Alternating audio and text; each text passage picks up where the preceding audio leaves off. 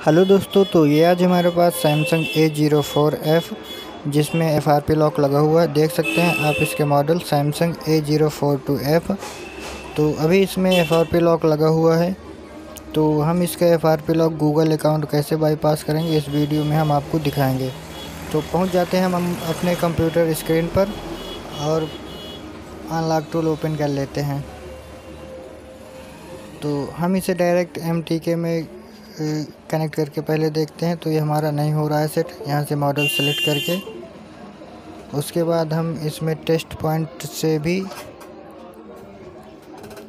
Check करेंगे। और कैसे करना है वहाँ से टेस्ट पॉइंट के ज़रिए, ये भी हम आपको दिखा देते हैं। तो अभी हम पहले आपको इसका टेस्ट पॉइंट शो करवा देते हैं यहाँ पर।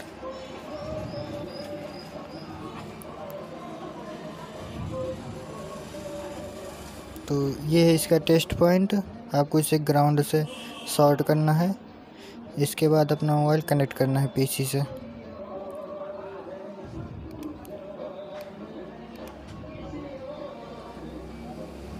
तो इरेज एफ़ आर में हमने क्लिक किया और अपना मोबाइल कनेक्ट करेंगे ईडीएल पॉइंट शॉर्ट करके।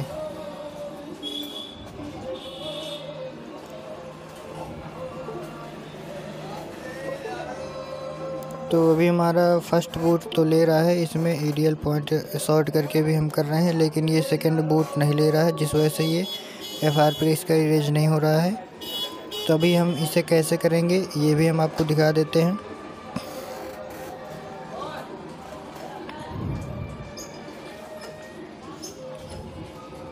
ये हमने इसका मॉडल सेलेक्ट कर लिया, और इरेज और यहाँ पर हमें सेलेक्ट करना है सैमसंग देख सकते हैं, साइड में ये फ़ंक्शन आ रहा है यहाँ पर, दूसरा ऑप्शन यहाँ पर हमें अपना इसका मॉडल सेलेक्ट करना है।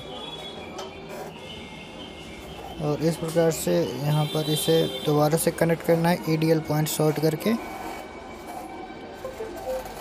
तो अभी देख सकते हैं, ये हमारा एफ़ आर पी ओके हो चुका है। तो इस प्रकार से आप Samsung A zero four two F का पी अनलॉक कर सकते हैं अनलॉक टूल के ज़रिए।